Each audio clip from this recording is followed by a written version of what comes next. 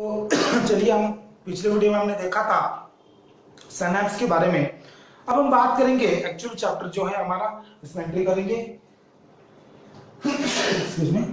तो चलो पढ़ते हैं नर्वस सिस्टम ठीक है? थोड़ा कुछ एब्रिवेशन में लिखना चाहूँगा प्लीज़ आप समझ लीजिएगा।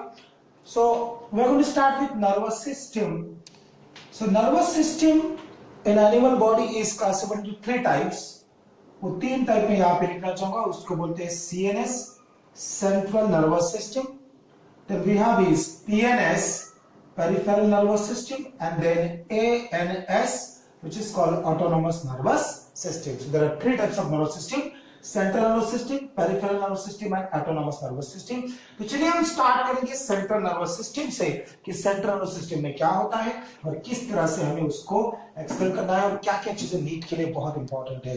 So I am going to start with the part called as CNS तो बच्चों सीएनएस क्या होता है? What is the full form that is central nervous system क्यों बोलेंगे सेंट्रल नर्वस सिस्टम क्योंकि ये सब सिस्टम है हमारे बॉडी के। बिल्कुल सेंटर में है। देखिए एग्ज़ाम्पल के तौर पे मैं आपको आपको बताना चाहूँगा। यस जो भी सिस्टम हमारा है, वो यहाँ पे मैं आपको बताना चाहूँगा। ये हो गया ब्रेन ठीक है? और ये नीचे जाएगा स्पाइनल कॉर्ड तो ये जो दो स्ट्रक्चर आपको दिख रहा है this is called brain and this is called spinal cord ठीक है? तो ये ब्रेन और स्पाइनल कॉर्ड देखिए पूरा बॉडी के सेंटर में है। So it is present in central axis of the body hence it is called central nervous system क्योंकि वो बॉडी के सेंट्रल एक्सिस में ब्रेन और स्पाइनल कॉर्ड तो हम इसमें पढ़ेंगे ब्रेन और स्पाइनल कॉर्ड तो उसके पहले मुझे एक चीज़ इसमें बताना बहुत ज़रूरी मैं समझूँगा, जो सीएनएस में हमारे लिए दोनों जगह पे इंपॉर्टेंट है। बच्चों, हमारा चैप्टर चल रहा है न्यूरल कंट्रोल ठीक है? ये ट्वेल्थ का बायो का हमारा चैप्टर है तो प्लीज़ आप सब इस चीज़ को थोड़ा सा अच्छे से समझ के चलिएगा राइट तो चलो अगर हम बात करेंगे अभी सीएनएस के बारे में तो सीएनएस में सबसे पहली चीज़ मुझे यहाँ पे बतानी है that is known as meninges yes meninges क्या होता है? हमें दो दो पार्ट यहाँ पे आज कवर करने meninges and cerebral spinal fluid what is meninges The protective covering of the brain and spinal cord is called as meninges. तो बच्चे, यहाँ पे वापस मैं वैसे ही डायग्राम बनाऊँगा। ये देखिए ब्रेन है और ये जो है, नीचे इलोंगेटेड सा स्ट्रक्चर 45 सेंटीमीटर लेंथ वाला स्ट्रक्चर ब्रेन होगा स्पाइनल कॉर्ड तो ये ब्रेन और स्पाइनल कॉर्ड पूरा का पूरा एक प्रोटेक्टिव कवरिंग से उसको कवरिंग किया जाएगा प्रोटेक्ट किया जाएगा। तो जो रेड कलर का मैंने कवरिंग बनाया, बच्चों, ये होता है meninges So what is called meninges? The protective covering of the brain and spinal cord. So this is nothing but brain और ये हो गया आपका लंबा वाला structure cord which is called spinal cord. ठीक है? So the protective covering of the brain and spinal cord is called as what? Meninges. But not this is not only the definition but उसका कुछ part से कुछ function से वो भी हमें meninges में पढ़ना पड़ेगा तो आपको इतना समझ जाएगा इस तरह से meninges हमारे बॉडी में होता है राइट तो चलो आगे चलते हैं। meninges का कुछ लेयर्स होता है। There are three layers of the meninges तो यहाँ पे हम क्या करेंगे बच्चों? डायग्राम बनाने की कोशिश करेंगे। उस डायग्राम में हम एक बात करेंगे कि कैसे ये हमें मेंटेन करना पड़ेगा। तो चलो मैंने जिसके तीन लेयर में आप लिखूँगा। चलो outer most layer is called as dura mater the middle layer is called जो उसके बीच का लेयर है, उसको मैं बोलूँगा एरेक्नोइड मैटर और जो इनर मोस्ट लेयर होगा, उसको बोला जाता है पायामैटर ठीक है? तो बच्चों, ये जो टर्म है ड्यूरा मैटर क्यों बोलेंगे एरेक्नोइड मैटर क्यों बोलेंगे पाया मैटर क्यों बोलेंगे, ये सब चीज़ों के बारे में हम अभी एक्सप्लेन करेंगे। So meninges consist of three protective layers outermost dura mater middle arachnoid matter innermost is called parameter तो चलो डायग्रामेटिकली उसको थोड़ा समझने की हम कोशिश करेंगे। तो यहाँ पे ये जो स्ट्रक्चर है बच्चों, ये समझ लीजिए ब्रेन का स्ट्रक्चर है। This is nothing but the brain ये पूरा एरिया ब्रेन का होगा, ठीक है? तो ये जो ब्रेन के कुछ एरियाज़ आपको दिखते हैं, इनको हम सल्काई एंड गायराई इस तरह से भी नाम देते हैं। बट रफली आप समझ लीजिए ब्रेन का लेयर ये ब्रेन का कवर ब्रेन का कॉटेक्स ब्रेन का मैटर राइट तो the inner most covering what we have is जो इसका इनर मोस्ट कवरिंग रहेगा, वो समझिए मैंने इस तरह से बना दिया, ठीक है? जो रेड वाला मैंने बनाया इनर मोस्ट कवरिंग है। What is this inner most covering called as बच्चों, इसको मैंने जानबूझ के रेड कलर में बनाया है। इसको मैं बोलूँगा पैरामीटर ठीक है? तो पायामीटर क्या होता है? ये इनर मोस्ट होता है which covers the surface of the brain जो ब्रेन के सरफेस को कवर कर देगा, ठीक है? उसी के ऊपर का लेयर जो होगा बच्चों, ये देखो मैंने अलग कलर में बनाया। ये जो दूसरा लेयर होगा, ये भी बड़ा इंटरेस्टिंग लेयर होगा। This particular layer is known as arachnoid matter but बच्चे जो एरेक्नोइड मैटर है, वो बड़ा इंटरेस्टिंग सा होता है। इसको इस तरह से हम नहीं बना सकते, ठीक है? थोड़ा सा मैं अलग बनाने की कोशिश करूँगा। This particular arachnoid matter is formed like this देखिए, इस तरह से एरेक्नोइड मैटर होता है। ये जो मैटर होता है, ये स्पाइडर वेब लाइक मैटर आपको दिखाई देगा, ठीक है ना? ये जो है स्पाइडर वेब लाइक मैटर आपको दिखाई देगा। तो इसलिए, ये देखो एरेक्नोइड्स क्या होते हैं? आपको पता है arachnoid arachnida is one of the very important class in the phylum arthropoda आप अगर फाइलम आर्थ्रोपोडा में देखेंगे तो आपको इस तरह से एरेक्नोइड दिखाई देते हैं, जिनमें बहुत सारे ज्वाइंट्स होते हैं लेग्स होते हैं। तो इस तरह से जो मिडिल वाला मैटर मैंने आपके लिए समझाने के लिए थोड़ा सा आसान करने के लिए कुछ अलग सा बनाने की कोशिश करें। बच्चों, ये होता है एरेक्नोइड मैटर और जो आउटर मोस्ट मैटर होता है द आउटर मोस्ट मैटर होगा, वो होता है, ये देखिए जो आउटर मोस्ट मैटर मैंने यहाँ पे रखा है बच्चों, ये होना चाहिए dura mater so what is this matter called as dura mater ठीक है? मिडल क्या होगा बच्चों? ये मिडल वाला क्या हो गया? एरेक्नोइड मैटर मैंने पहले ही बोला एरेक्नोइड क्यों बोला आपको? क्योंकि वो स्पाइडर वेब के जैसा स्ट्रक्चर यहाँ पे आपको दिख रहा है। ठीक है? इसको ड्यूरा मैटर क्यों बोलेंगे? क्योंकि ये आउटर मोस्ट है, ये टफ है। ठीक है? ये आउटर मोस्ट है टफ है। ड्यूरेबल है, इसलिए इसको क्या बोलते हैं? ड्यूरा मैटर ड्यूरेबल है, बहुत लंबा देर तक चल सकता है टफ है। प्रोटेक्टिव इसके लिए मैंने क्या बोला? उसको ड्यूरा मैटर बोल दिया। As it looks like a spider web like structure is called arachnoid matter और जो highly vascular matter होता है जिसमें blood supply ज़्यादा होता है ठीक और delicate होता है वो matter क्या होता है बच्चों parameter होता है right there are three matters dura matter arachnoid matter and parameter so why dura matter because it is durable it is uh, durable and it is tough and harder and protective it is arachnoid matter why because it forms spider web like structure arachnoid जो होते हैं insecta में होते हैं sorry अपने मार्थ्रोपोडा में होते उस तरह से, और पायामीटर क्या होता है, सबसे डेलिकेट सबसे वास्कुलर वो pia mater inner most red colour में बने, बनाया। So which covers the surface of the brain and spinal cord is pia mater which is a wave like structure is arachnoid matter, which is durable, tough matter is known as what? Dura mater समझ गए बराबर से? तो इसको matter word कहाँ से आ गया? बच्चे मैटर वर्ड का भी एक बहुत इंटरेस्टिंग सा बात है, आपको कोई नहीं बताएगा, आपको मेरे से सुनना पड़ेगा। कि what exactly this matter means तो बच्चे मैटर का एक्चुअल अगर मतलब निकाला जाएगा तो इसका मतलब मदर होता है, ठीक है?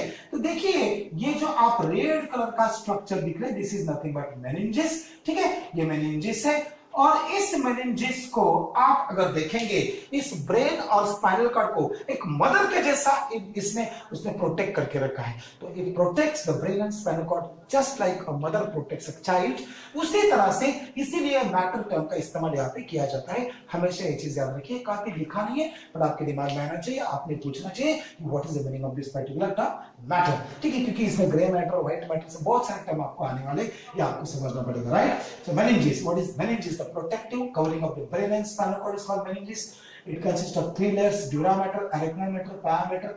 Outer is dura mater, durable, tough रहेगा. ठीक है? इसमें एक बहुत इंटरेस्टिंग सा क्वेश्चन आपको पूछा जाता है यहाँ पे कुछ स्पेस आपको मिलती है ये जो स्पेस है बच्चों दिस स्पेस इज़ कॉल्ड सब ड्यूरल स्पेस इसको क्या बोला जाता है सब ड्यूरल स्पेस सिंपल सी बात है ड्यूरा मैटर के नीचे इसके सब ड्यूरल स्पेस बोलेंगे इसमें फाइब्रस कनेक्टिव टिश्यूज होता है, ठीक है? इसमें फाइब्रस कनेक्टिव टिश्यू होता है सब ड्यूरल स्पेस के अंदर, ये वाला सब ड्यूरल स्पेस उसी तरह यहाँ पे एक स्पेस आपको मिलेगा एरोक्नाइड लेयर के नीचे।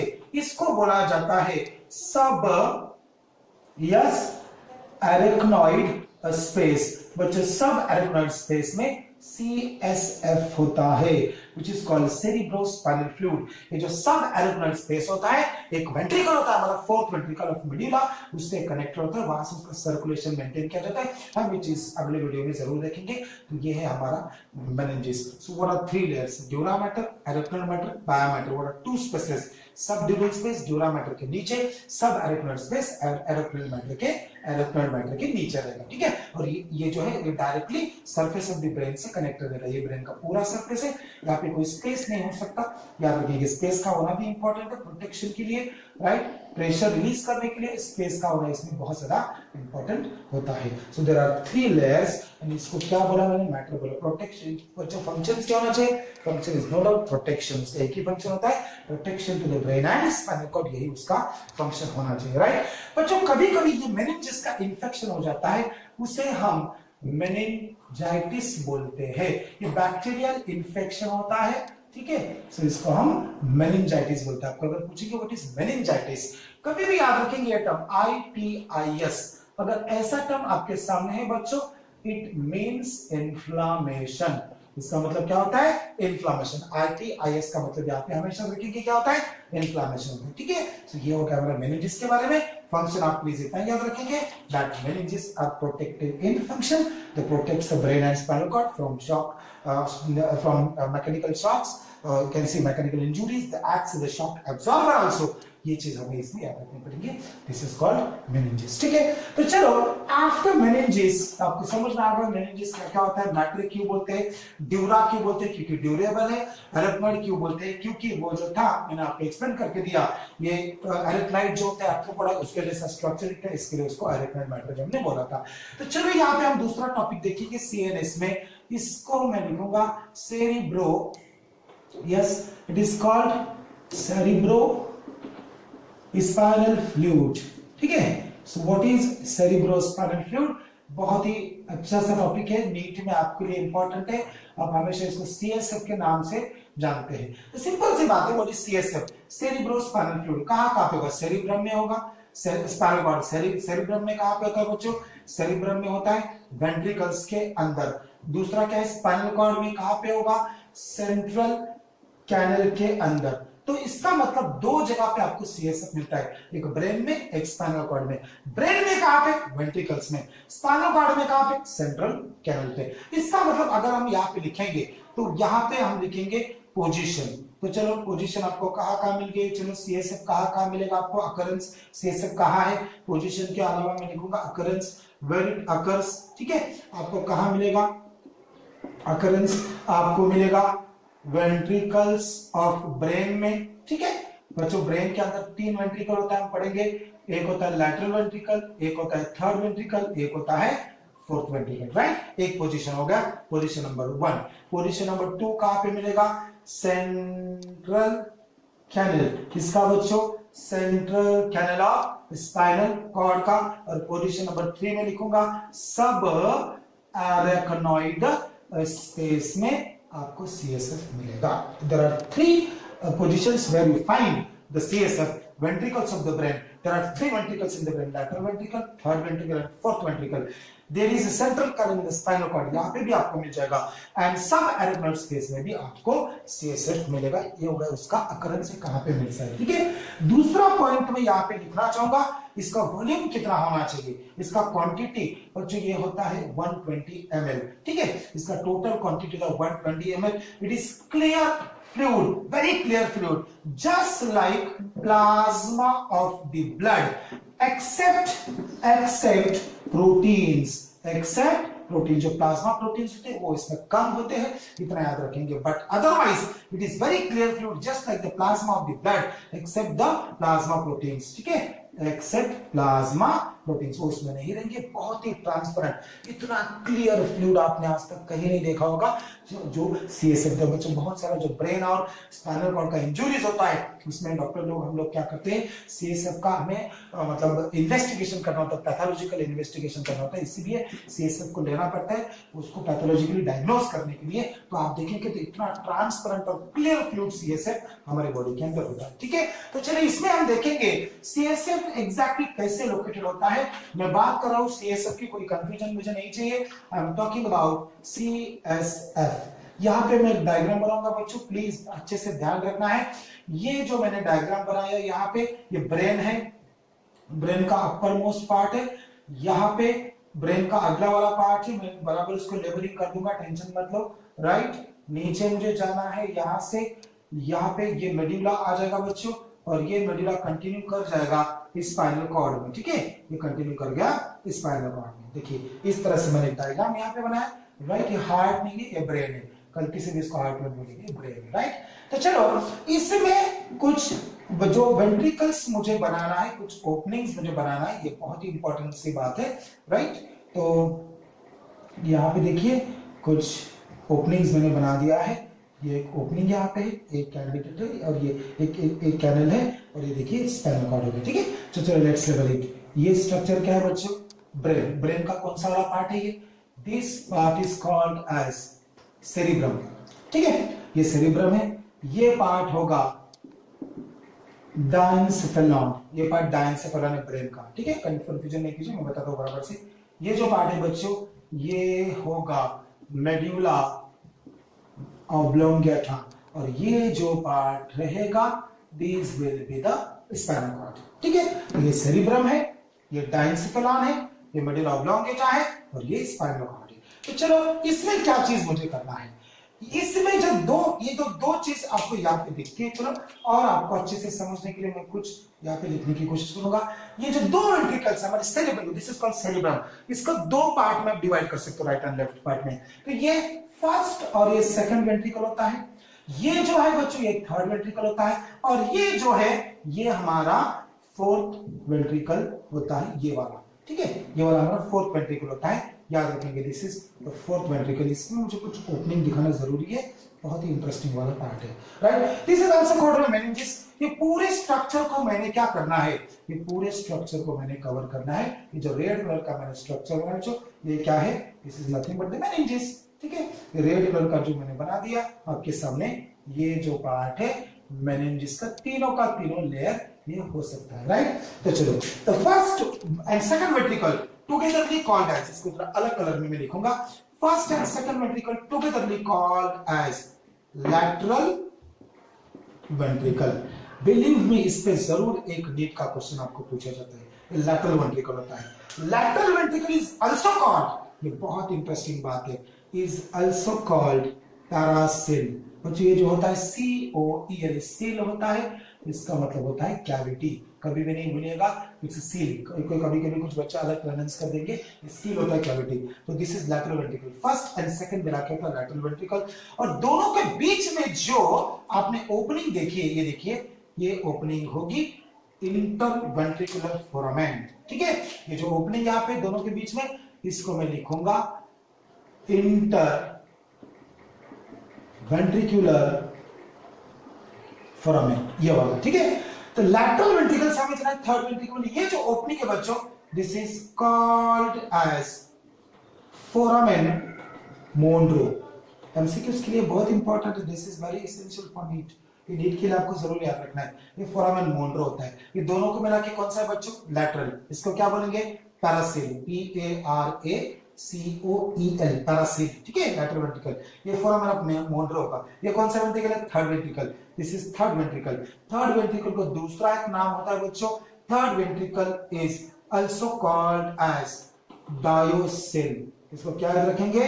डायोसिल ये भी नीट के लिए बहुत इंपॉर्टेंट है third ventricle where is found in diencephalon ये आपको कहाँ मिलेगा?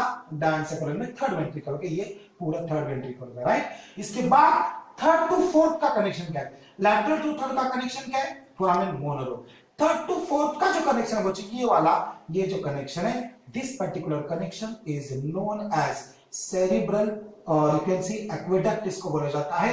एक्वेडक्ट देखिए एक्वेडक्ट ऑफ़ सैल्वियस या सेरिब्रल एक्वेडक्ट बोला जाता है। सिंपल आप एक्वेडक्ट भी बोलेंगे तो आपको दिमाग में आ जाएगा। और ये जो होता है बच्चों fourth ventricle this is nothing but the fourth ventricle please आप यहाँ पे ध्यान दीजिए इस जगह पे ध्यान दीजिए ये फोर्थ वेंट्रिकल है which is also called metacoel उसको क्या बोलते हैं बच्चों? मेटासिल सो so, पहला वाला पैरासिल टी ए आर ए ए यहाँ पे मैंने लिख दिया देखिए। पैरासिल दूसरा है डायोसिल तीसरा है मेटासिल और ये जो स्पाइनल कॉर्ड का आगे कंटिन्यू हो गया ये रहेगा सेंट्रल कैनल इसको माइलोसिल भी बोला जाता है M Y E L O C O E L myelocoel तो देखिए, ये हो गया हमारा पूरा सी एस एफ़ का पोजिशन यहाँ पे सी एस एफ़ है, यहाँ से सी एस एफ़ जाएगा थर्ड वेंट्रिकल में थर्ड से जाएगा फोर्थ वेंट्रिकल में फोर्थ से जाएगा सेंट्रल कलर में। और यहाँ से जा सकता है सब एरेक्नोइड स्पेस में। बच्चों, यहाँ पे तीन ओपनिंग मैंने यहाँ पे लिख के दिया है। प्लीज़ आप इसको ध्यान से देखिएगा। ये तीन ओपनिंग जो है this is for entry into the entry into the subarachnoid space ये जो होता है this is known as foramen Magendie ये आपको याद रखना है के लिए। फोरामेन मेगेंडी दो जो होता है, वो होता है फोरामेन लश्का ये दो होता है फोरामेन लश्का दो लैटरल जो होते हैं L for lateral two lateral is foramen lusca and one middle middle medial तो मिडिल फॉर मिगांडी आप याद रखेंगे। और ये क्या होते हैं? This are connected with subarachnoid space जो मेनिंजिस का स्पेस होता है सब एरेक्नोइड स्पेस से इसको आप कनेक्ट करेंगे। समझ गए? तो यहाँ पे ये जो लैटरल ये जो सेरिब्रम मैंने बना के दिया आपको, यहाँ पे इसको सीक्रेट करने वाली चीज़ कौन सी होती है? So in the cerebrum CSF is produced by cerebrum में सीएसएफ कहाँ से प्रोड्यूस होता है?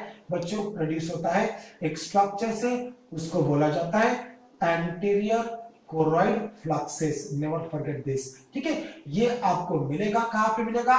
ये आपको मिलता है इपीथैलेमस में। ठीक है, हम पढ़ेंगे इपिथैलेमस क्या होता है अभी जगह जल्दी नहीं है। अब सिर्फ़ इतना ये डायग्राम आपके पास होना चाहिए। ये बहुत ही ज़्यादा इंपॉर्टेंट डायग्राम है नीट के लिए, या फिर आपका ए एफ़ एम सी के लिए, या फिर आपका सीईटी के लिए डायग्राम बहुत ज़्यादा इंपॉर्टेंट है, ठीक है?